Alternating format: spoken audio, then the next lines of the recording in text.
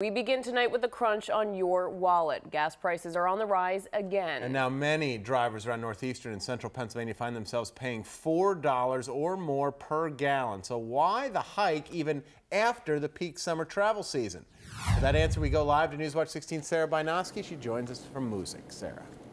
Well, Scott Trish, that is definitely the question, and no big surprise. People we spoke with are very upset. Some say they can't remember ever paying this much for a gallon of gas. They hope the price drops soon, but they say they don't think it will.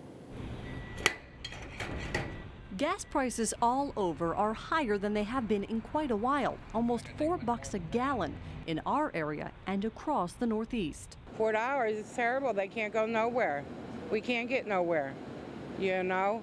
Well, if I'm spending that kind of money in gas, I'm not going to go out, you know, be buying pizza or, or doing, you know, going other stuff. So, and I wonder why the economy is the way it is. Control the gas prices, the economy will go up.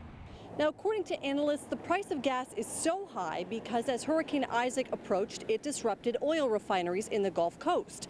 Some people we spoke with say they just don't believe that. I think it's got to be just they just want to jack the prices up. I don't think it's anything to do with the Gulf and the oil refineries. It's just a shame you can't even do the necessary things because that's a lot out of your pocket to fill your car anymore. I think the gas could come down cheaper. Uh, if they really want to do something about it, they can. But uh, you know the way it is. Uh, they're going to get you for whatever they can get you for.